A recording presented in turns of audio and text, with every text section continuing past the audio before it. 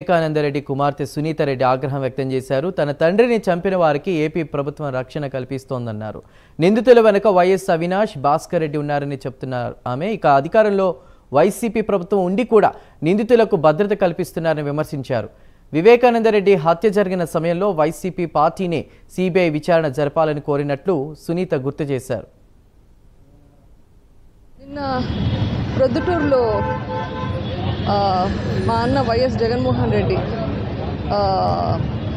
Election ప్రచారం చేశారు. ఆ ప్రచారంలో మా నాన్న Y S Vivekananda Reddy murder case గురించి మాట్లాడారు. వివేకం చిన్నాన్న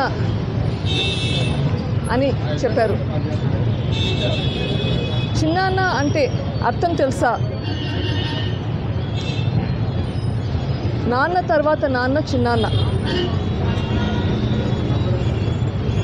అసలు ఈ బంధుత్వాలకు మీకు అర్థం తెలుసా? అదే మీటింగ్లో మీ మామను ఉద్దేశించు మీ మామగారిని ఉద్దేశించుతూ ముద్దుగా మామ అని పిలుస్తారు. చిన్న చిన్నాన్న అంటే మీ నాన్నతో సమానం. అట్లాంటి చిన్నాన్న చనిపోతే ఆ చావు వెనుక కుట్ర ఏంటి అన్నది నిర్ధారించకుండా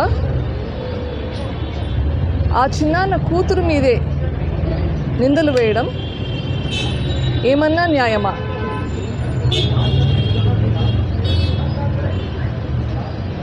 నీ చెల్లెలు కోట్ల చుట్టూ పోలీసుల చుట్టూ తిరుగుతుంటే అన్నయ్యగా నీ బాధ్యత ఏంటి?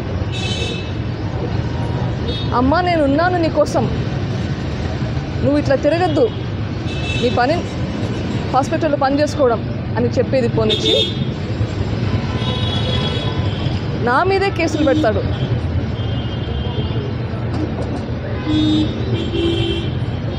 ఇది ఏమైనా న్యాయమా?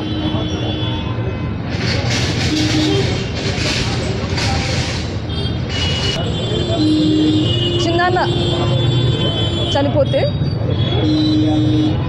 ఐదు సంవత్సరాలు అయింది ఈ ఐదు సంవత్సరాలు మీదే గవర్నమెంట్.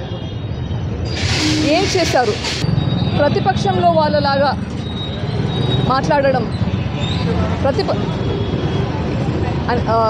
కరెక్టా? ఇవాళ మీ ముందుకు వచ్చి నేను మాట్లాడాల్సిన అవసరం ఎందుకు వచ్చింది ఆయన ఆయన చేయాల్సిన పని చేయకపోవడం వల్ల కదా. నేను నా అంతఃకరణ శుద్ధితో చెప్తున్నాను. నేను చెప్పేదంతా నిజం. ఆయన అట్లా చెప్పగలుగుతాడా? అది చెప్పినా నమ్మే పరిస్థితి మనకి. ఆయన ఒక మాట అన్నాడు. దేవునికి తెలుసు ఈ జిల్లా ప్రజలకందరికీ తెలుసు. వివేకం చిన్నానని ఎవరు చంపారు అని. కరెక్ట్గా చెప్పారు.